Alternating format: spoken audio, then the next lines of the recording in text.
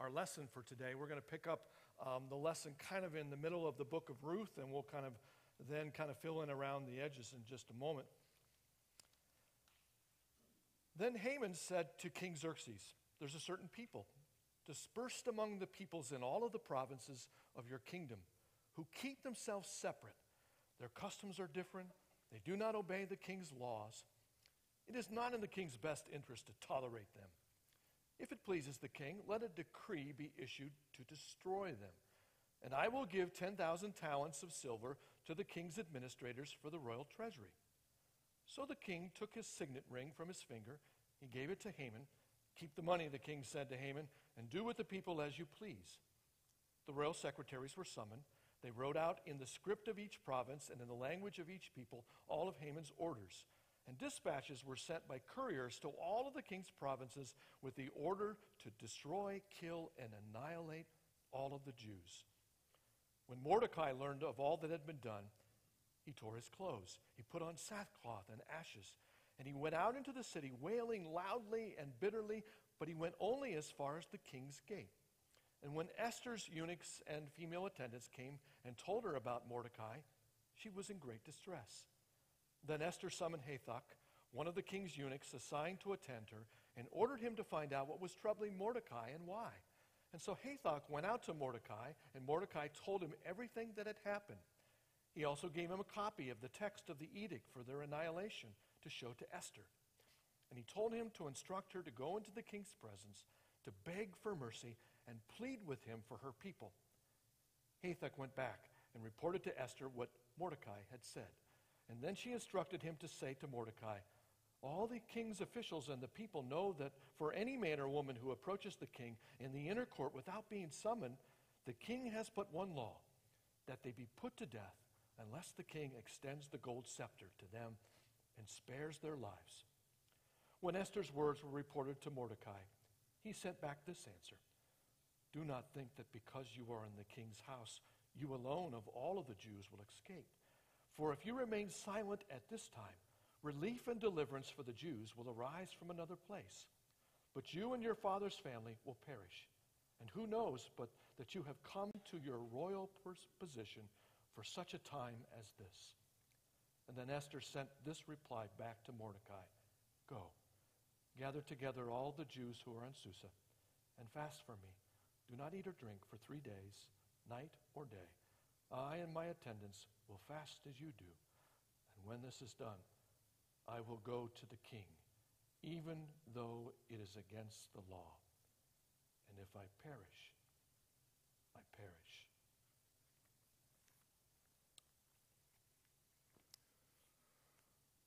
Well, you know, about a month or so ago when I, I made the big announcement, I talked about what it feels like to be stuck between a rock and a hard place.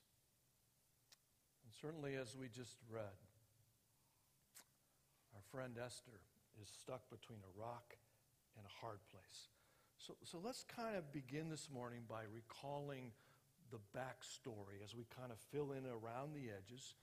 Esther's people, the, the Jews, are now living in exile and they are ruled by the, the, the, Persians. God's judgment finally came down upon Judah, upon God's people, because of their disobedience. Now, Persia is ruled by a king by the name of Xerxes. And as the book of Esther begins, let's remember that Xerxes decides to throw for himself this amazing party it lasts for a whole week. So he invites all of his homeboys, all of the guys of the kingdom, to come. And for seven days, it's drink as much as you want. So you can imagine the revelry that went on. And finally, in sort of an inebriated condition, he calls for his beautiful queen, Vashti. He wants to show her off in front of all of the guys, a drunken party. So you can imagine what she's thinking about all this. So she refuses to, to, to come. And so in a rage, he has her removed and vanquished from the kingdom. So now a search committee has to be put together. Sort of like, you know, search committee that we're getting started, but for a whole different reason. And so all over the kingdom, the most beautiful maidens are found, and they are brought into this harem, out of which the next queen will then be chosen. Well, one of the beautiful young women happens to be this young woman named Esther. She's been raised by her faithful, her wise, her older cousin, sort of a surrogate father, Mordecai. Mordecai is a Jew. But Mordecai teaches Esther to kind of keep this whole Jewish thing on the down low. Eventually, of course, the cream rises to the crop in the harem, and Esther is chosen as the new queen of Persia. And to sort of make a, a long story short here, folks, an evil dude by the name of Haman, who hates the Jews, he becomes sort of the right hand man of King Xerxes.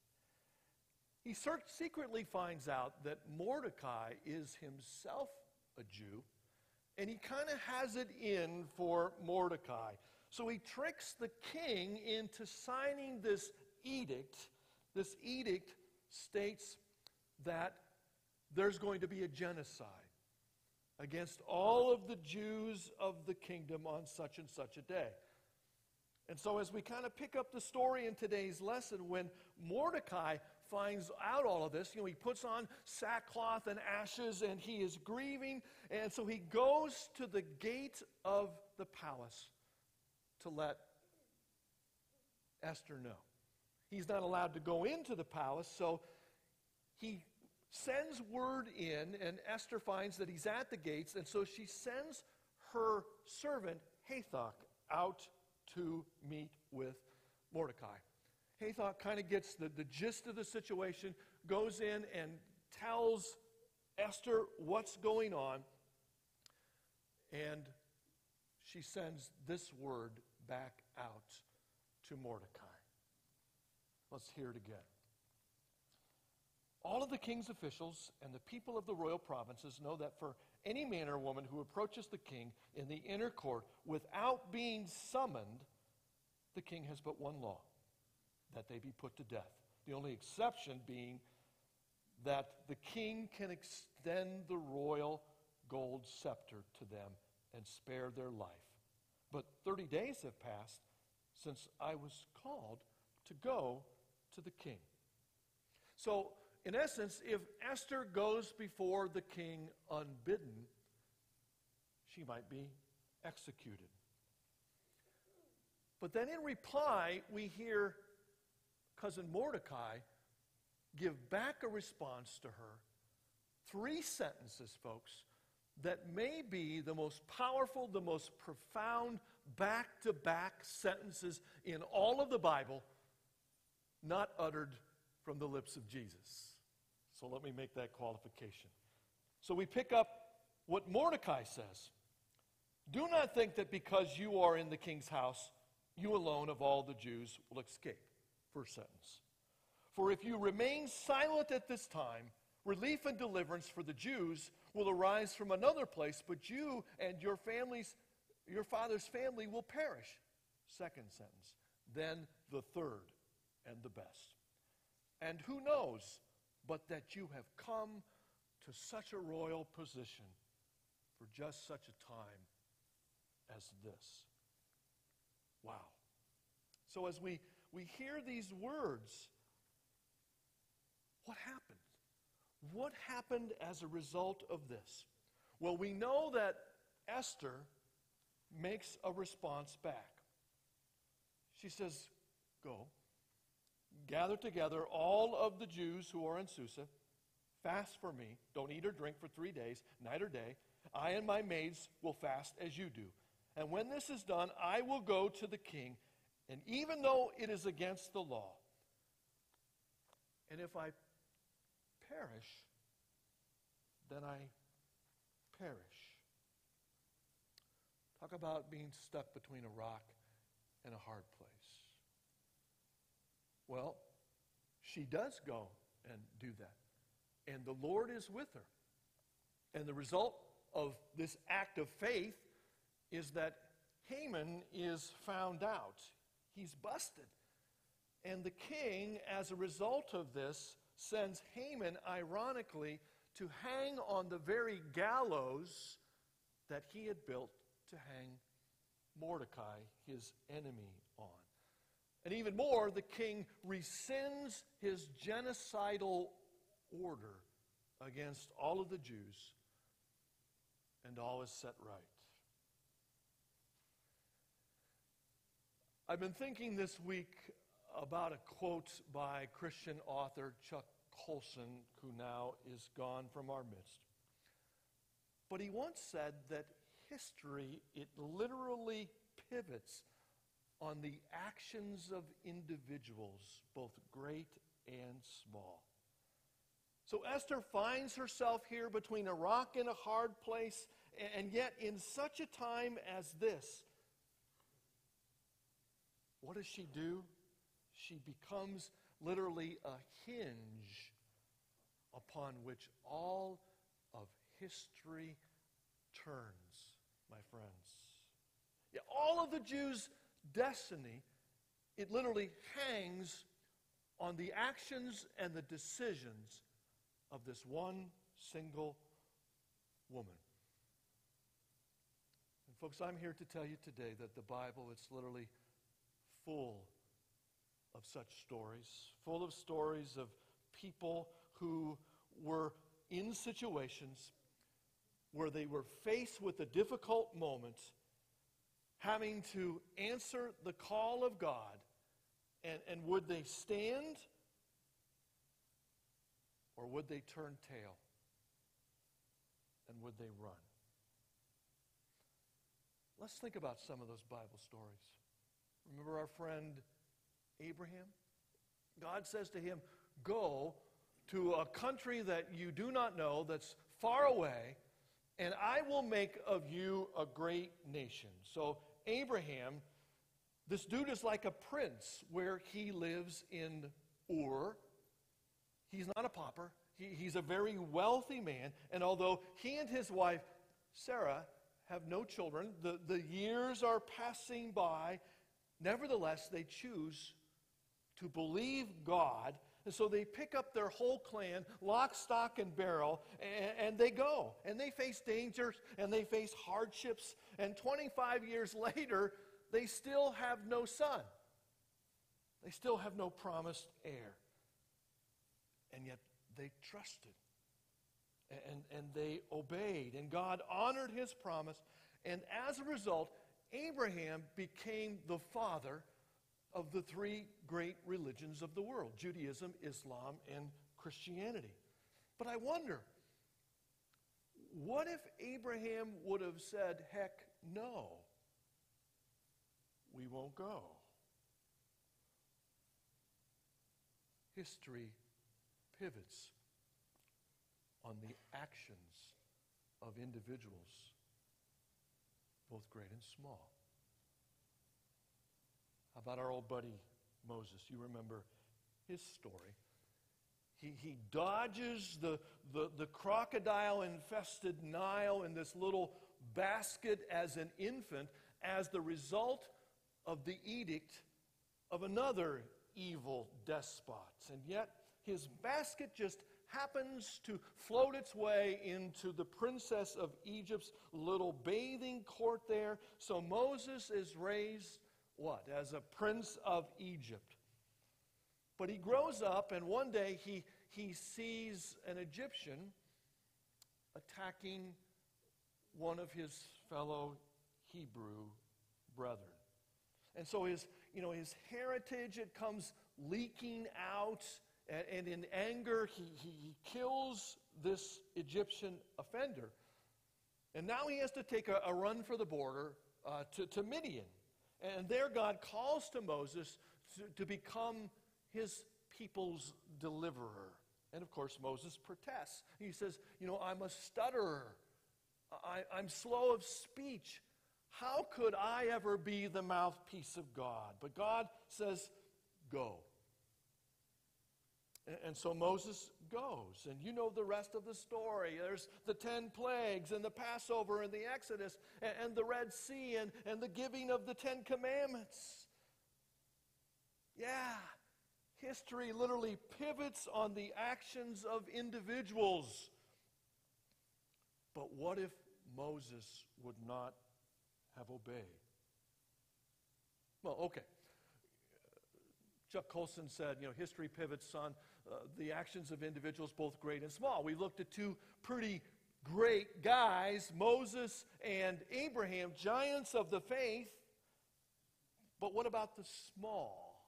Oh, how about a guy by the name of Gideon in the days of the judges? You remember this was a pretty murky and muddy time in the history of Israel. People were, were doing what was right in their own eyes. The patriarchs were gone now, the kings were not yet.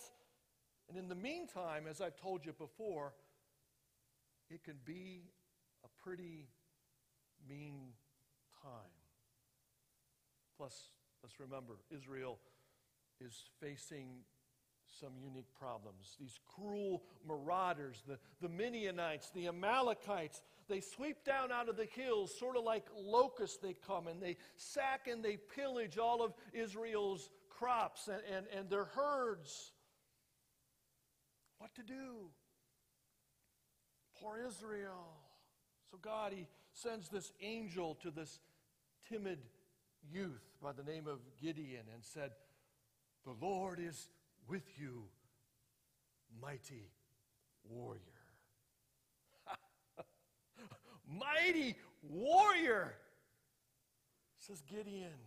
Here I am hiding out down in this threshing floor, trying to protect just a little grain from these marauders. Besides, I come from the smallest and the least of the tribes of Israel, the half tribe of Manasseh. And I am the least of the least of the clans of Manasseh. Who, me? A mighty warrior. And not only that, not only am I a nobody, but you, God, you have abandoned And yet, nevertheless, the angel says, Go. The Lord will strengthen you, Gideon. And so Gideon does go. And he becomes this great judge over Israel, and he does defeat Israel's enemies. And even more than that, get this, folks, he becomes the father of 70 sons. 70 sons. But what if he would have stayed hiding out down in that grain press. After all, history literally pivots on the actions of individuals. Or what about the prophet Isaiah, who, when he was called by a host of heavenly angels, said to God, Woe is me, for I am a man of unclean lips what if he would have turned tail and run? How things might be different. After all, history, it pivots on the actions of individuals. Or what about his brother prophet Jeremiah, who, when called by God, said, I do not know how to speak. I am but a child, a youth. Yeah, what if he would not have answered the call? How things might have been different. History pivots on the actions of individuals. How about in the New Testament? How about the Virgin Mary? When the angel Gabriel came to her and told her that she was to be the mother of the Messiah, what if she would have said, no thanks. History pivots on the actions of individuals. How about Peter, this poor Galilean fisherman? Jesus says, Come, and I will make you a fisher of men. And, Peter follows and he goes and he becomes this great apostle and he impacts untold millions. Even our Catholic brethren refer to them him as their first pope. But what if he would have just, you know, sort of stayed in that boat? History hinges on the actions of others. We could go on and we could go on and we could go on. But what about now? What about you in such a time as this? Because I'm going to tell you,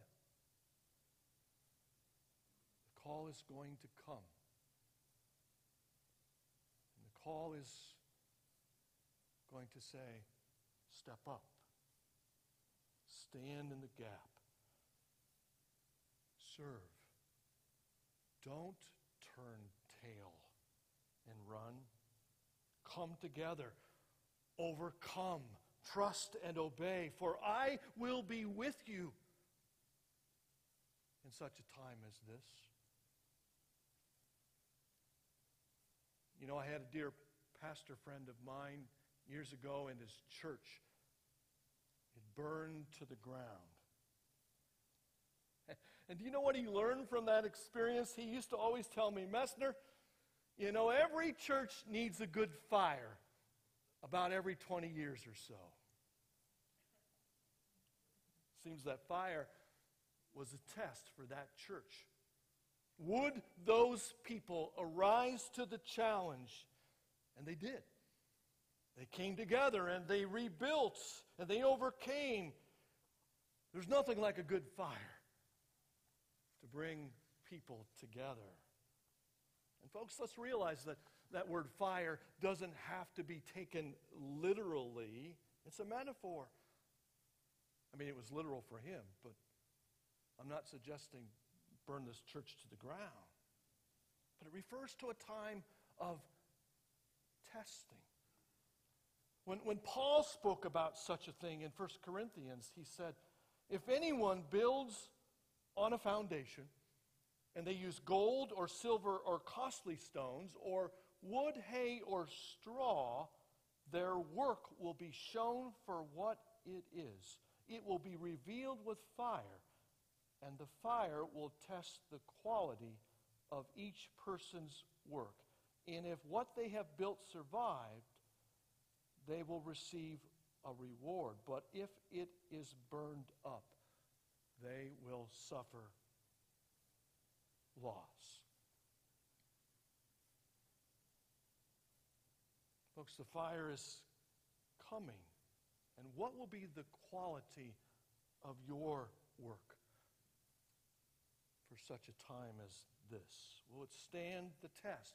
Because history pivots on the actions of individuals. We saw that in our video today with Brian and Stacy, a young couple who, in faith, decided to surrender their life and their resources to the Lord, to put those things at His disposal so that they could help others. I hope you will take the chance this morning to get to know Sonrisa and Tom. Huge step of faith, leaving everything they've known, like Abraham and Sarah, going on this brave new adventure to serve God. How about you? As your church faces such a time as this, what will be your response? Will it be fear? Will it be faith? Will you cut and run? Will you stand and fight? History pivots on the actions of individuals, both great and small. And who knows, maybe you'll be asked to serve or to give in a way in which you never have before. Will you? On this Labor Day weekend, will you labor when God calls. And when the fire comes, will you stand the test or not? Amen. I think about our Lord Jesus. I think about the test that he faced on his last night as he met with his disciples. Soon he would go to Gethsemane. Soon he would sweat blood. He passed that test that night when the fire came. And as he met with them there in that upper room, he took bread and he broke it.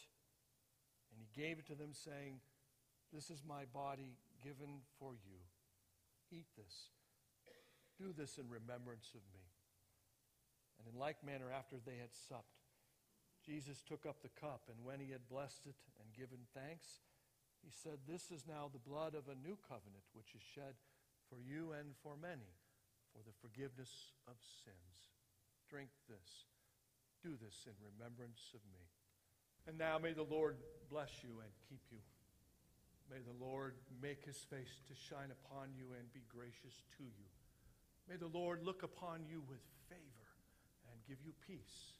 In the name of the Father, and of the Son, and of the Holy Spirit.